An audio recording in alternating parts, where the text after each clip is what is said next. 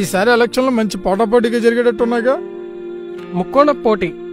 ఎవరికి వాళ్ళ అధికారం కోసం వాళ్ళ వాళ్ళ గవర్నమెంట్ ఫామ్ చేసుకోవడం కోసం మంచి కసరత్తులు చేస్తున్నారు. ఎవరెన్ని కసరత్తులు చేసినా ఈసారి జనసేన వస్తే బాగుంటుందిరా. బానే ఉంటది కానీ చాలా చోట్ల సరైన క్యాండిడేట్ నిలబెట్టలేదని పబ్లిక్ టాక్.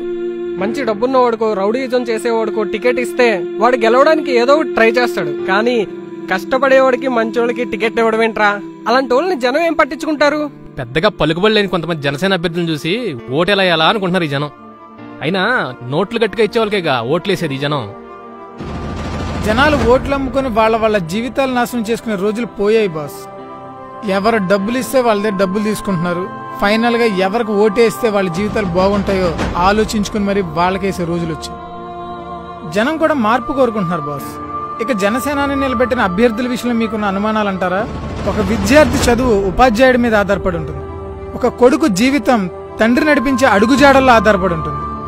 అలాగే జనసేనాని నిలబెట్టిన అభ్యర్థుల బాధ్యత పవన్ కళ్యాణ్ గారు నమ్ముకున్న విలువల మీద ఆధారపడి ఉంటుంది.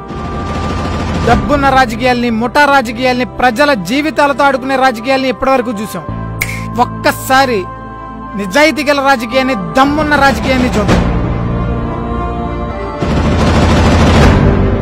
పవన్ కళ్యాణ్ గారు నిలబెట్టింది జనసేన అభ్యర్థుల్ని కాదు జనసేన విలువల గుర్తుల్ని.